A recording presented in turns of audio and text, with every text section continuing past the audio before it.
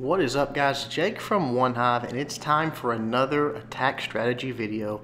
This one is going to be on Go Laloon. Um, the power of this attack, uh, and it can take out a lot of different styles of bases, is, is in the tanking. You've got five tanks, we're talking about two golems, three lava hounds. Uh, now really what makes this attack sort of strong and, and overpowered is the queen, strangely enough. Um, the two golems going in and tanking for the queen, that's why we bring two. It's They don't have to be real spread out like in a traditional go wee wee or a go wipe. Uh, clumping them up's okay because all their job is is to give the queen time to let her sit back, take out air defenses, take out the enemy queen, possibly Teslas, uh, anything in that area. You're, you're taking out an area with a with a relatively low investment because you can let those golems sit up there, take all the damage, and the queen just has all the time in the world to sit back and snipe, uh, take out again the queen, the, the air defenses, whatever you're trying to do.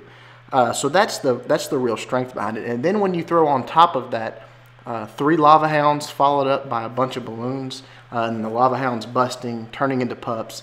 It's just a very uh, formidable strategy at this point. Until some type of nerf happens, you can take out a lot of bases with this. Uh, it's not, again, it's not the perfect strategy. It's not the perfect attack. I'm not saying it will work on every base out there, although it is a uh, it is a powerful attack and it will work on a lot of different styles of bases. Um, as far as the queen goes, I wouldn't try this with a level 10 queen. Uh, it's, it's most effective when you've got a pretty high queen uh, and king because not only are you got two golems to tank for her, when you throw that king out there, uh, it's almost like having a third tank. Uh, and she just has so much time. It's so she can get so much done uh, before you ever start your air attack. Uh, so that's my my recommendation is have a pretty high level heroes. Let's say at least level 15, preferably level 20 or higher and you're going to be able to take out very high level Town Hall 9s using this uh, attack strategy. And it will even translate some into Town Hall 10, so some of the things we say will carry over and hold true for Town Hall 10 as well. Uh, but normal format style, we're going to look at three attacks. We're going to look at the bases, talk about the attack, and talk about uh, how, why they're successful, and then show the attack. Uh, so let's get to the first one and see how it goes. All right, sort of like Money was uh, in our Town Hall 8 uh, attack, uh, Raisin is going to be our model for today. All three attacks are by Raisin. Uh, this is something that she is, I guess, specializing in because she does a lot of it and she does it very, very well. Uh, so we're going to use three of her attacks just to show you. Uh, the first one we're looking at here, obviously a familiar base, the general. A lot of ways it can be wrecked. Not saying this is the only way, just it's a good illustration for this attack, so we're going to talk about it. Uh, first thing that Raisin does is send two golems in. She sends them right together, no problem there, uh, and backs it up with wizards. You still have to make your funnel, guys. You, you know, she drops wizards, uh, her heroes. You have to direct your troops where you want them to go. This is not a spam attack. Uh, then she brings a jump spell. Uh, places it there so that they can get into the queen, uh, get in here. And now with the two golems, with the king, all of this gets taken out. You know, the, the two air defenses all the defenses around there. The queen has time to sit back and take all of that stuff out. Obviously, the queen, the king, and some of the wizards help as well. Uh, but when you've got those two those two golems out front, it just gives her time. She sits back, she does her sniping, and then she, you know, once she goes down, so much of the base has been wrecked just for that investment of two golems, a few wizards. Uh, brings a lightning. Always uh, bring a lightning for the CC troops now. If you get stuck with a with a wizard in there, you sort of wasted a spell. But that's or excuse me, a wizard. If you get stuck with a dragon in the, in the clan castle, you've sort of wasted a spell. But you know, look for that on cleanup attacks. You'll know. Uh, but on, an initial attack, it's, it's, a risk. But you need a lightning to uh, take out the clan castle troops and then allow them to come in. Now at that point, uh, once it's all done, all of those uh, defenses have been taken down. Uh, comes in with a. Uh, she sends all three of her uh, lava hounds, all three together, just to cut across the base. Now, the reason she deploys them from this side, even though these air defenses are down, is she wants to soak up, soak up those air traps, which they do. There's air traps in here. Uh, the lava hounds soak them up. Then she just starts dropping balloons. It's not spam balloon, it's targeted balloons. A few uh, balloons for this, a few for here. Uh, as you work your way around, a few for there. Then she, as the lava hounds make their way and they get over here, she drops a rage few balloons here, and you work in that counterclockwise motion, uh, dropping balloons just targeted on the defenses. Once this air defense goes down, obviously the lava hounds are going to redirect. They're going to come up down here, soak up any other remaining air traps, and the balloons are going to work their way around as well. So you want that clockwise or counterclockwise motion. You want to bring two golems to let give your uh, heroes, your queen namely, time to really take out a section of the base. You always want the golems, the kill squad, to take out at least one air defense, the queen and the clan castle troops. Uh, a second air defense is a bonus, like on this base where you can really get to a second one pretty easily. Uh, that, that's sort of a bonus. But you don't have to do that. You can do it with just one air defense being taken out, but always take out at least one, the Queen and the CC troops. Then start your deployment in a clockwise fashion or counterclockwise, just in a, working around the base. That's the best path for the loons. Uh, and place your rages properly. Be careful where you put those at. Uh, you know, you have to sort of, it's there's not there's no way for me to sit here and tell you this is the best place to put your rages. It's got to be depending on which how, how, fast things go down, which way your loons are clumped up more. Uh, give them the most benefit you can. So let's watch Raisin do this attack, and then we'll move on to the next one. All right, here we go. Uh, again, the, the golems go down, uh, brings a max golem. Uh, that's a good point right there. Let me stop and pause it and talk about that. Uh, opt for a, a max golem if you have access to it over a max lava hound? Two reasons. One, the whole point of this double golem uh, push is to get give your queen ample time to take out as many defenses, uh, namely air defenses and towers, as she can. The extra hit points from your golem is going to give her more time, and you want your lava hounds to bust. So yes, you get you. I'm sorry about that. Yes, you get more pups out of that max lava hound, but it might not bust, and then you've sort of hurt yourself. So I say bring a max golem in your CC and one of your own. Uh, then right there, funnels created by the wizards. The heroes are falling in. Everything's going straight in. They're already locked on the queen. Nice jump spell, and you noticed how she placed the jump spell. The jump spell is now directing her troops towards that second air defense, not towards the one that the queen right there is sniping going to take down, but towards that one down lower. It doesn't connect the upper compartments, it connects those. So think about your jump spell placement. Uh, it does help you direct your troops. Uh, first, uh, lightning goes down. The CC troops are done for. Uh, first air defense is down, and now again, look at this golem still tanking. The queen's taking no damage. She's sitting back here. She's sniping. She's doing everything. Just now, the X-Bow locks on, but she's even going to take it out. All three lava hounds go down. Look at all those air traps they're soaking up. Uh, a rage waiting on them, and look at the balloon deployment. Just wrapping it around, working their way. As soon as this air defense go down, the first lava, pup, lava hound bust, uh, they're going to work their way down to the second air defense. Now another rage waiting on these loons coming in to get to that air defense as quick as possible and just targeted balloons. Here's a few for this defense, here's a few for that one, uh, and they all just sort of clump up towards the end and get the job done. You see right there one more uh, Lava Hound bust. Actually, she has one that does not bust in this attack. Again, that's why you bring the Max Golem as opposed to the Max uh, Lava Hound because sometimes, depending on how fast the, the attack takes place, you won't have one bust, and that's sort of that hurts you. You might run out of time because of that. Uh, obviously, Raisin does not. She has plenty of time and plenty of cleanup troops. You'll see the pups up here uh, taking care of everything. But make sure that you that you think about that and don't just say, okay, I need a max lava hound because I'm doing a, a attack. This is a go Lalunian, and the golem uh, is going to serve you better. So let's look at another one that Raisin did and talk about it. All right, here's the next base we're going to look at. Uh, Raisin brings a very similar attack style on this one. Uh, two golems right here. Uh, then immediately, guys, remember you have to make your funnel. If not, your king, your queen uh, are going to start wrapping around the base on you. So drops are wizards. That's why you bring wizards, to create your funnel. Yes, it helps back up your troops some, but the main reason is to create your funnel. Uh, brings a jump spell right here for this compartment. The queen is obviously going to jump over this wall.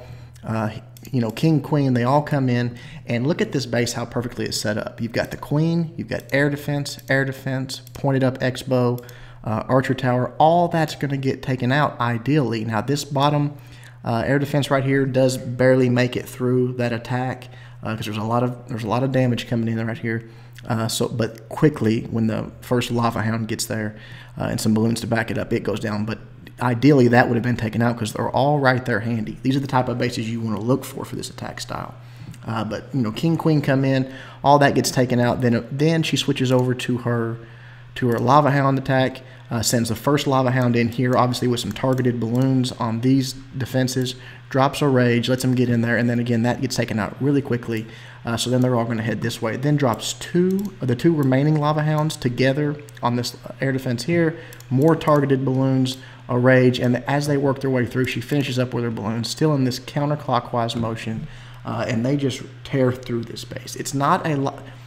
There doesn't have to be a lot of planning to this, guys. I mean, there is and there's not. Once you start the attack, it's sort of on autopilot. It's not like a hog attack where you got to watch your hogs. Uh, you put your you put your troops in the right places and then you let them go. Uh, and so we'll watch this attack and see how it does it, and then we'll come back talk about one more base and then wrap this up. Okay, here we go. Uh, golems go down uh, immediately. The the right behind them wizards to create that funnel. Uh, that's I, I, can't stress that enough, guys. You got to create your funnel. Uh, then the heroes go down. Jump spell goes right there. Perfect placement. Uh, now everything's going to go in, and they're going to start targeting the the defenses that she needs to take down. Uh, that's how you direct your troops where you want them to go. Lightning right here uh, does a good, pretty good job. Takes out most of the CC troops, but the queen is having to take out a few remainders. Uh, the king already busted there. He was taking a lot of damage. Use the ability, but look how long the ability is there. Get that ability in quickly uh, because you want that king doing as much damage as he can as well. Uh, right there, turns on the first air defense. It goes down. Now she's sort of distracted here, and really those golems going away uh, out of range of that Tesla cost her getting that second. Um, cost her getting that second air defense. If the golems had stayed there and tanked in that direction, uh, would have got it taken down too. But right here, Lava Hound comes in, soaks up some traps, few balloons to back it up, and Rage. That's that air defense is going to go down as soon as that Lava Hound busts and a few of those pups uh, on Rage target that air defense. Then on the second side, two Lava Hounds, Rage for them, targeted balloons, just sending a few for each defense building, and then again this uh, counterclockwise motion that pushes everything to the core. That keeps your balloons from having to travel as far. It keeps them from having to go all the way out to these outlying uh, defenses. Those balloons that she's sending in reinforcements extra are going to take care of that. Uh, all of her uh, lava hounds busted on this one, which is a good thing. You see this last swarm of balloons here taking out the last few defenses that can really bother them. That archer tower is way outgunned, and you see how many pups she's got for cleanup. So just a beautiful attack. Uh, we'll fast forward as she gets the cleanup here, and we'll watch one more. We'll break that attack down, and then we'll wrap this up, uh, and hopefully you guys have a uh, another attack style to put in your bag of tricks.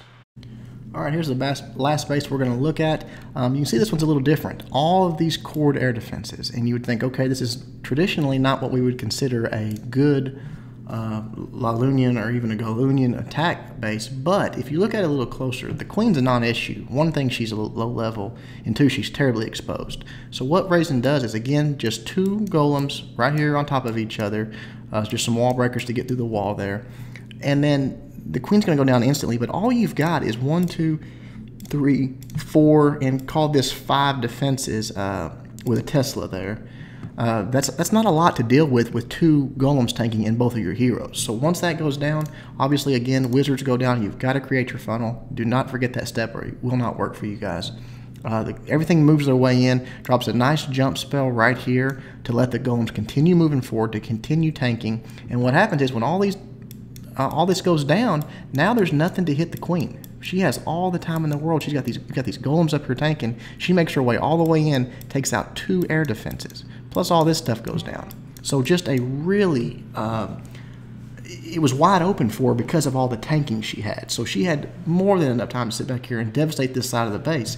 Then uh, uh, Raisin comes in with all three lava hounds just right on top of this one and then starts her her targeted balloons all the way around the base. I mean, everything gets a few balloons, uh, drops a rage, obviously, uh, gets things moving, and then a rage over here for this side. And you'll see when the when the lava hounds start busting, this uh, this base had all traps set to air. The skeleton traps, it was all air traps. They bunch up, but when those lava pups are under rage and they start and these lava hounds start busting, they rip through those traps. So that's that's a, a, good thing to remember is when that happens, give them a rage. When they start busting, give those lava pups a rage because they can really help you out. Uh, so we'll watch this attack, guys, and then we'll wrap it up.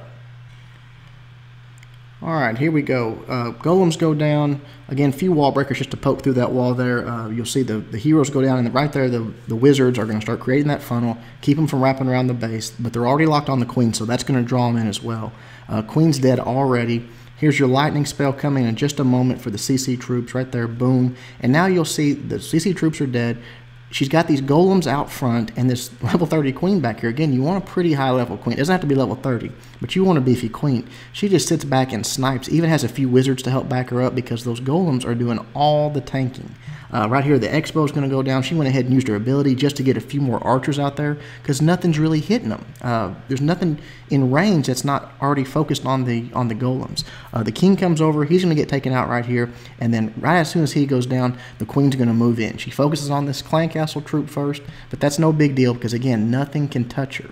She's out of range. Everything that was in range is already dead. So it takes out a few more storages, and then right here, air defense, air defense. Just boom, two of them down. Here comes the air attack. All three lava hounds, a few a few balloons down there for that south compartment, a few up there. Just I'm sorry I was a little off on the rage placement, but uh, that's smart rage placement because that gives uh, all those defenses in those big compartments. Uh, those balloons are staying rage. You see just coming in from all angles with balloons. Uh, again, raging in the core there to let those lava pups help take out all those air skeletons. Um, does has one lava hound that does not bust on this attack just because it happened so quickly. Uh, the defenses really didn't even have time to take it out. So uh, just wrecked this base, and all of these attacks just just got these bases got wrecked, guys. This is a powerful attack strategy. Again, it's not the perfect one. It doesn't work on every base out there, but uh, start practicing it. Use it on ones that maybe you can't hog or you know it's just not working, and, and you, you need the stars for your clan. Try it out, uh, but use these tips and focus on what uh, what the reason behind it is, which is to give your queen time to really uh, devastate the air defense at the base, then send your air attack in. Hope you guys like it. Till next time, Jake from One Hive, doing my best to help you guys suck less.